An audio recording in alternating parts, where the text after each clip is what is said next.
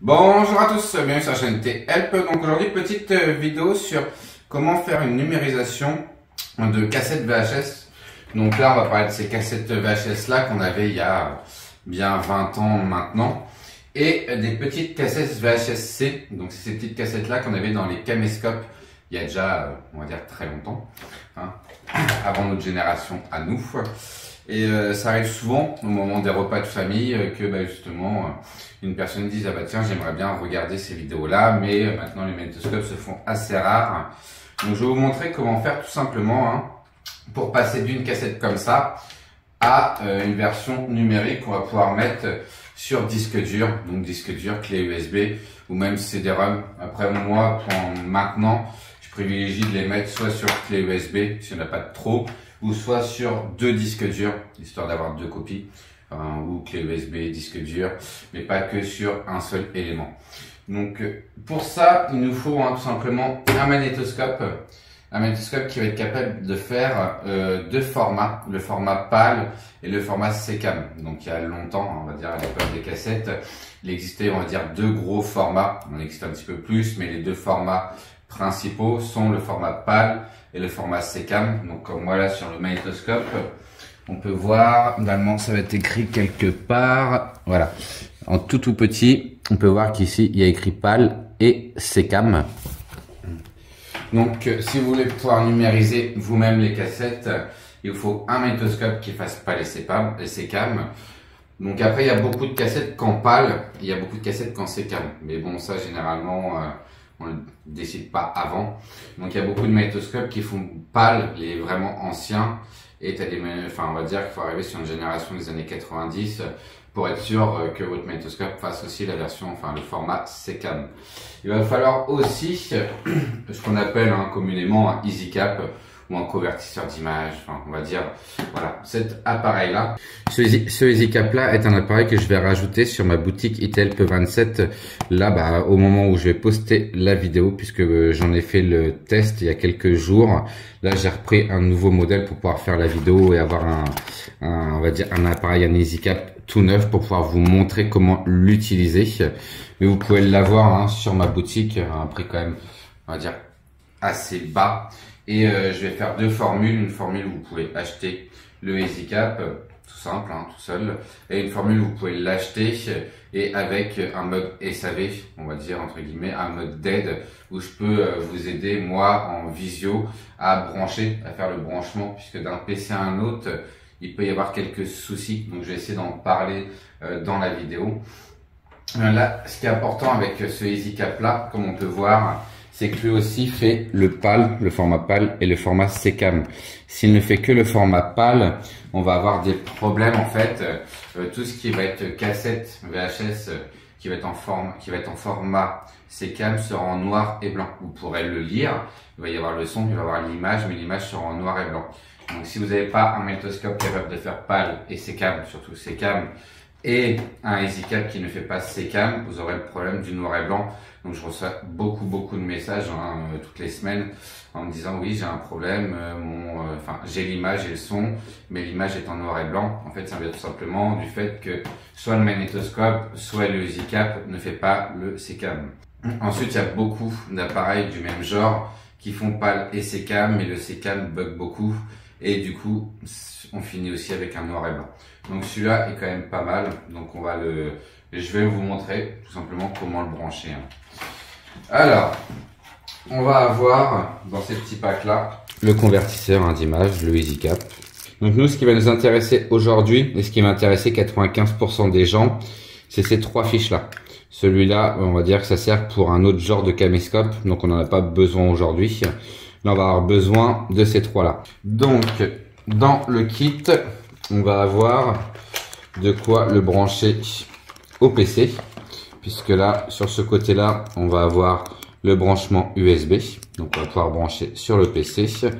Et de l'autre côté, on va avoir le branchement pour pouvoir le brancher derrière le magnétoscope. C'est un code couleur, hein. blanc sur blanc, jaune sur jaune, rouge sur rouge. Hein. On va avoir l'adaptateur Péritel, donc très important. On va avoir l'adaptateur Péritel, donc très important.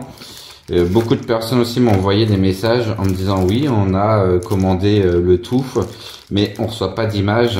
c'est que l'adaptateur Péritel doit vraiment être conçu pour pouvoir passer hein, de la, du magnétoscope à l'ordinateur. Il y a pas mal de sortes de Péritel différentes. Hop là. Nous, ce qui est, est, très important, donc si vous avez un souci et que vous avez le son mais pas d'image, regardez au niveau de la Péritel, il faut vraiment avoir toutes les dents à l'intérieur. Si vous avez qu'une partie des dents, c'est que c'est pas le bon Péritel. De même, on verra tout à l'heure, hein, euh, vous avez deux modes, ici et ici. Donc il y a un mode où on va rentrer en fait l'image sur le magnétoscope. Il y a un mode où on rentre l'image du magnétoscope sur le PC. Donc si c'est pas dans le bon mode, euh, si l'image est faite pour rentrer, on va dire sur le magnétoscope, je parle vraiment en langage vulgaire, enfin euh, c'est pas ça exactement, mais il y a un mode sortie, un mode entrée. Donc là, il faut vraiment que ça fasse sur la sortie pour pouvoir entrer sur le PC et pas vice versa. Donc cela fait quand même les deux modes. Et le troisième truc très important, c'est qu'il nous faut un logiciel. Bien entendu, hein, l'image va pas directement atterrir comme ça sur le PC. Il va falloir installer un logiciel sur le PC. Donc on peut l'avoir, généralement on le reçoit par petit CD. Euh, il y a beaucoup maintenant de PC enfin, qui ne font plus hein, du coup de lecteurs hop là, CD-ROM on va pouvoir le brancher. Après, il y a beaucoup de CD-ROM qui sont inutilisés depuis des années. Et euh, quand on leur met des petits euh, CD comme ça, généralement, ça fonctionne pas. Moi, en dessous de la vidéo, je vais vous mettre un lien pour pouvoir aller télécharger le même logiciel qu'il y a sur ce CD-ROM là. Généralement, c'est plus simple. Et quasiment tous les nouveaux PC euh, font plus CD-ROM. généralement, les gens ont moins de problèmes en allant télécharger directement le logiciel sur Internet à bien regarder puisque j'ai eu plusieurs messages aussi où on me disait que euh, bah, du coup il n'y avait pas de il y avait pas de licence pour le CD-ROM. La licence se trouve soit derrière ou soit en, en tout petit sur le CD. Donc moi elle se trouve là derrière. Si elle se trouvait pas derrière, de temps en temps, hop là, le la licence se trouve en tout petit sur le CD. Donc à bien regarder. Donc même si vous téléchargez le logiciel sur internet, la licence qui se trouve sur le petit CD est valide. On y va. Donc là, premier truc à faire avant de commencer, avant de faire les branchements, on va aller télécharger le logiciel. Donc là, je vais essayer le petit CD, voir si ça fonctionne bien. Sinon, j'irai hein, euh, le chercher sur Internet. Donc là, petit souci, le CD-ROM ne prend pas, le lecteur CD-ROM ne prend pas le petit CD dedans. Donc là, ce que je vais aller faire, c'est que je vais aller rechercher directement sur Internet. Je vais pas me battre avec lui pour qu'il fonctionne. Et en plus, pour qu'il l'installe mal. Je vais directement aller le rechercher sur le site. Là, on est sur la page pour pouvoir télécharger du coup le pilote qui nous permettra, enfin qui permettra à l'ordinateur de reconnaître euh, notre EasyCap et en plus le logiciel VHS to DVD qui permettra hein, euh, de la numérisation des VHS. Donc c'est bien deux trucs différents. Donc on clique dessus. Hop, le logiciel ici. Donc là il devrait le télécharger. C'est pas un gros logiciel donc il va se télécharger normalement assez rapidement. Donc 483 MO. Donc euh, bon c'est quand même plus gros que beaucoup de petits logiciels. C'est pas non plus énorme énorme. Le logiciel vient de se finir de télécharger. Je clique dessus. On répond oui. On regarde s'il y a bien français. Il y a bien français. On fait OK. Généralement, c'est assez rapide. Après, c'est plus ou moins rapide selon le PC que vous avez. Hein. Là, c'est un PC qui est moyennement rapide. Mais bon, on peut voir que c'est quand même assez rapide. Ça va mettre moins d'une minute. Les pilotes pour l'appareil sont en train de s'installer. Ce que vous pouvez même faire, c'est le brancher pour l'instant. On va faire OK. Donc là, installation. C'est pareil, hein, c'est assez rapide en soin. Hein. Voilà. Donc succès, succès. Si là, les deux sont pas en succès, faut recommencer obligatoirement. Hmm, puisque sinon, vous aurez forcément un problème après de compatibilité, de autres. Ça m'est déjà arrivé de devoir le refaire deux fois parce que euh, un des deux euh, n'avait pas le résultat succès. OK. Donc, vidéo capture est configurée et prête à l'emploi. Donc ça, c'est bon.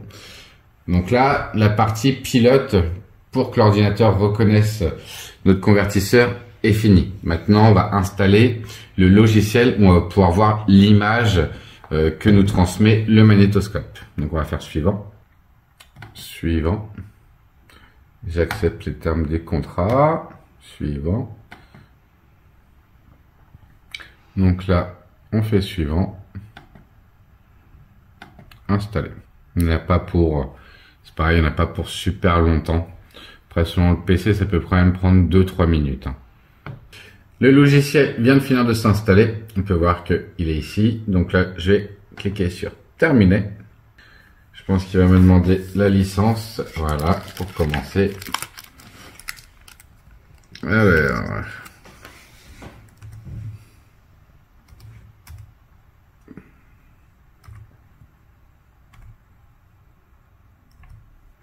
il ne reste plus qu'à attendre que le logiciel.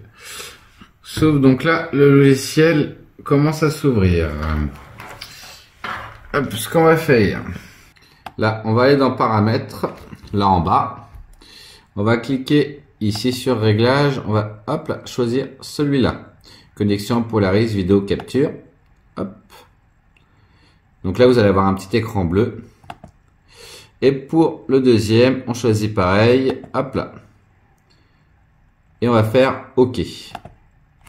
Donc là, maintenant, on va brancher le câble sur le magnétoscope. Donc c'est pareil, rouge avec rouge, jaune avec jaune et blanc avec blanc. Là, hop là, on va devoir le brancher sur la péritelle. Je libère le passage. Donc normalement, selon en fait, sur le magnétoscope, ça peut être différent. Des fois, ça peut être en bas, là en haut. Donc là, sur ce magnétoscope-là, hop là, normalement, on va le brancher en bas. Généralement, on le branche sur celui-là où il n'y a pas de couleur. Hop. Donc, c'est branché. Donc là, je vais commencer déjà par faire un test avec une cassette lambda. Donc là, moi, pour les mini cassettes VHS-C, on a ce qu'on appelle des adaptateurs, donc qui nous permet en fait de insérer la cassette directement dans l'adaptateur pour pouvoir en fait que ça ait le format d'une VHS normale pour que ça puisse rentrer dans notre magnétoscope. Donc là, ça c'est pareil. Pour l'instant, j'en vends pas, je crois, sur la boutique, mais euh, je suis en train de négocier avec un fournisseur pour pouvoir en avoir et c'est plus compliqué. Ce que je vais faire, c'est déjà, j'ai déjà commencé avec une VHS normale et après je vais faire un test aussi avec mon adaptateur. Donc là, c'est un adaptateur que moi j'ai depuis euh, euh, pas mal d'années maintenant. Il commence à être cassé, hein. il a fait quand même pas mal de numérisation, il a fait plus d'une centaine de cassettes depuis. Donc bon. Alors, je vais tout simplement insérer la cassette dans le magnétoscope. Là, on peut se rendre compte que là, j'ai Samsung qui vient d'apparaître. Donc là, c'est un magnétoscope Samsung, c'est bon signe sur le principe. Je vais appuyer sur lecture. Hop là. Donc là, c'est une cassette qui est vraiment hein, en très mauvais état, mais on peut voir qu'on voit. C'est vrai que la qualité, hein, c'était pas la même qu'aujourd'hui. Hop là, ce que je vais faire, c'est que je vais faire un step. Je voudrais voir un petit peu plus loin ce que ça donne. Donc, donc là, la qualité est vraiment merdique quand même. Je vais essayer sur une autre cassette pour voir si ça nous fait exactement le même effet ou pas. Là, j'ai fait quelques réglages. Vous allez voir, c'est un petit peu, enfin, la qualité d'image est quand même beaucoup plus belle. Je vais vous montrer hein, ce que j'ai fait pour avoir une qualité d'image euh, beaucoup plus belle comparée à tout à l'heure. Donc là, Hop là, je remets en route. Lecture.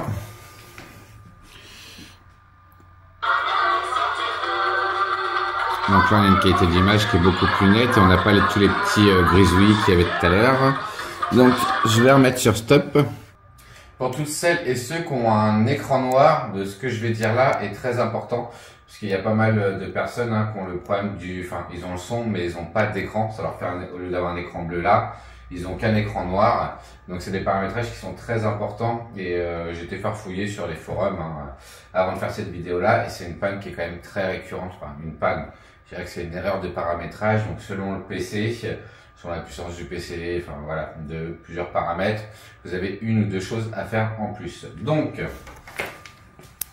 avec ce logiciel là, hop là, il y a un deuxième petit logiciel en fait qui est intégré dedans que vous ne voyez pas. Et pour ce faire, vous allez sur la barre Cortana en bas là, vous allez écrire change et ça va être, vous allez avoir cette application là, change vidéo standard.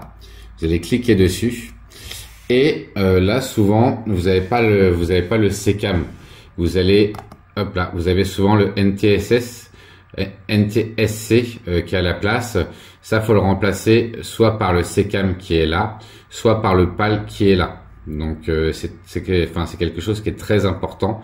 Si là, il n'est pas en mode CCAM, vous allez avoir un écran noir. Donc là, vous faites ça, vous faites change, OK. Et dans vos paramètres, ici, vous allez cliquer ici.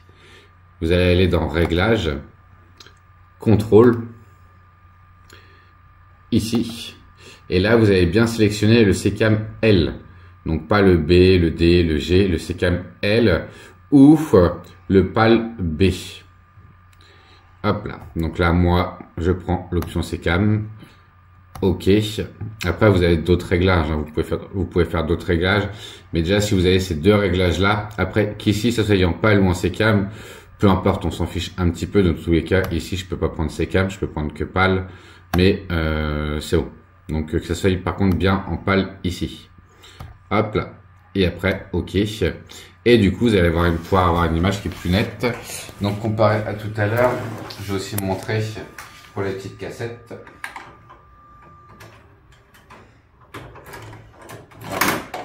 là, hein, c'est avec l'adaptateur, c'est pour ces petites cassettes-là. On met lecture, on met en route.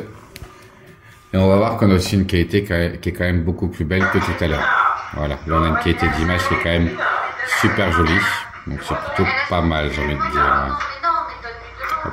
Du coup, pour enregistrer, hein, c'est pas compliqué. Hein. Une fois que la cassette est mise en route, au début de la cassette, hein, bien entendu, on clique sur enregistrer. Ça se met en route. Donc là, hein, on attend, on attend. Une fois la fin de la cassette, tout simplement, vous allez cliquer sur stop, enfin arrêter. Hop là, ça va vous créer un dossier. Et ce dossier-là, après, c'est ce dossier-là que vous pouvez mettre sur la clé USB. Donc là, je vais appuyer sur Stop. Hop là.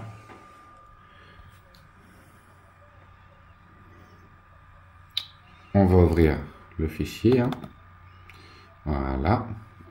Et là, vous avez un fichier vidéo.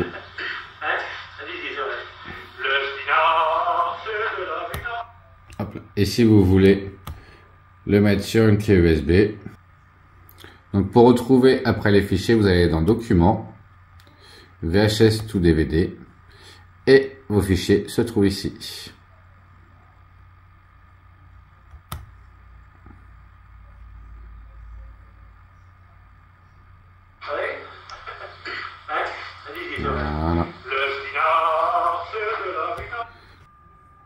On arrive à la fin de cette euh, vidéo, à savoir, moi je propose hein, euh, de vous numériser hein, les, euh, vos VHS à votre place. Hein. Généralement quand c'est comme ça, les gens m'envoient un colis.